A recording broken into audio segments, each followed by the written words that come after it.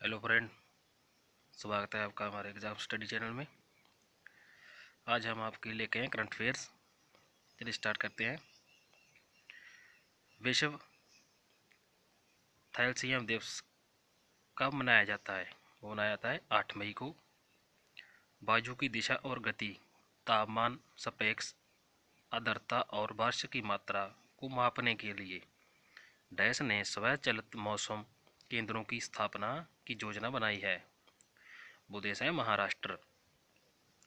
किन्हें हाल ही में ट्रांसफार्मेटिव चीफ मिनिस्टर पुरस्कार से सम्मानित किया गया है, वह चंद्रबाबू नायडू। हाल ही में पहली बार किस क्रूज पर रेसिंग ट्रैक बनाया गया? नॉर्वेजियन क्रूज, जो जर्मनी में है। देश की प्रथम बायो रिफाइनरी कहाँ स्थित की, स्थापित की गई है? वो है महाराष्ट्र में। किन्हें हाल ही में दादा साहेब फालके पुरस्कार से सम्मानित किया गया है? वो है कसीना धुनी, विश्वनाथ। भारत ने, भारत को संयुक्त राष्ट्र, यूएन के किस प्रतिष्ठान का अध्यक्ष चुना गया? वह यूएन हैबिटेट किन्हें दक्षिण कोरिया के नए राष्ट्रपति के रूप में चुना गया। वो है मून जे इन। राष्ट्रीय प्रौद्योगिकी दिवस कब मनाया जाता है? वह ग्यारह मई को। डैश और डैश।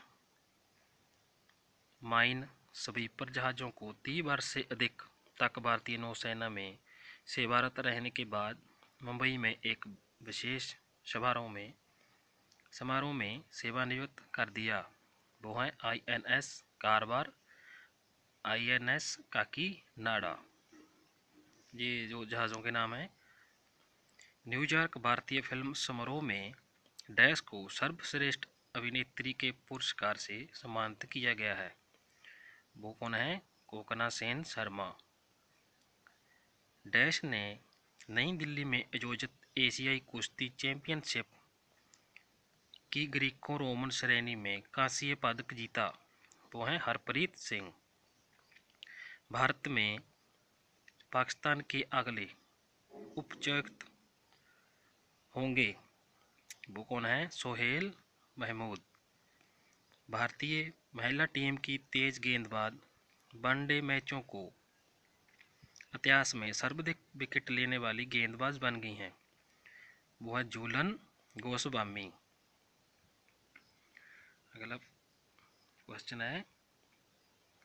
ग्रेट ब्रिटेन ने इपो में आयोजित हॉकी फाइनल में ऑस्ट्रेलिया को हराकर कौन सा प्रतिष्ठित हॉकी टूर्नामेंट जीता? वह अजलान अजलान शाह कप।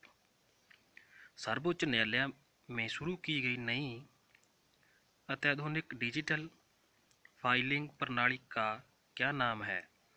वह integrated case management information system ICMIS सरकार ने किसे देश का अगला रक्षा सचिव नामित किया है? वह है संजय मित्रा। भारतीय फ़िल्मों के इतिहास में कौन सी फ़िल्म अपनी रिलीज़ के मात्र दस दिन में एक हज़ार करोड़ रुपए का व्यवसाय करने वाली पहली भारतीय फ़िल्म बन गई है? वो है बाहुबली टू। दी कंक्लूजन हाल ही में किस प्रदेश के बंगनपल्ली आम को जियोग्राफिकल इंडिकेटर का टैग दिया गया है? वो है आंध्र प्रदेश। भारत इंडोनेशिया के बीच सम्मानित पेट्रोल कारपेट का उनतीसवां संस्करण कहाँ शुरू हुआ?